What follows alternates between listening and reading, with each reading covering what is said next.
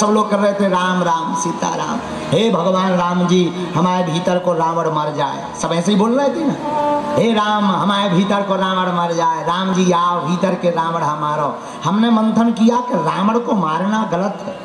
तो किसी ने हमसे कहा, क्यों? भीतर ही भीतर हम बात कर रहे थे। हमने कहा, रावण को मारने की आवश्यकता नहीं है। राम को जगाने की आवश्यकता है। कहते दशहरा में रावण को मारो, रावण को मारो। हम कहते रावण को मत मारो, राम को जगाओ, रावण अपने आप मर जाएगा। तो उसी प्रकार, हम ये नहीं कहते कि सनातन को बढ़ाया जाए, हम ये कहते हैं कि हिंदुओं को जगाया जाए, सनातन अपने आप बच जाएगा। इन प्यारों को जगाया जाए, अपने आप बच जाएगा। लोग अपनी भूल को सुधारते नहीं। अच्छा एक बार का